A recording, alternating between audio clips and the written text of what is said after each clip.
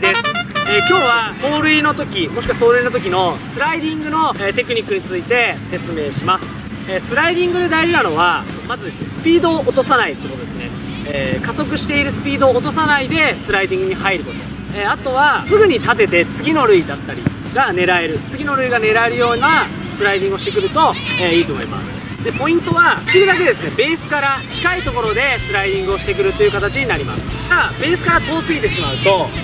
えどうしても、え長い距離をスライディングしようとするのでブレーキ、え加速が落ちてしまいますあとです膝で滑る、え膝で滑っていくでね。で膝で滑ることでその後すぐ立てるようになりますので、えお尻で滑ってしまうとどうしてもこう寝るような形になってしまうので、え次立つのにすごく時間がかかってしまいますなので膝で滑って近くで滑る。大体目安は選手によるんですけど 1m から 1.5m ぐらい距離で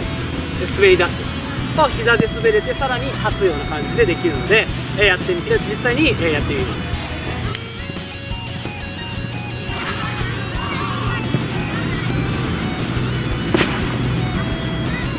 えー、このようにスライディングやるときは、えー、膝で滑ることですね、えー、お尻で滑ってしまうとお尻汚れてしまうので、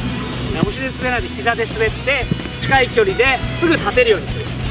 といいと思います、えー、皆さんも、次の塁を狙えるように、鋭いスライディングを目指して、練習してみてください。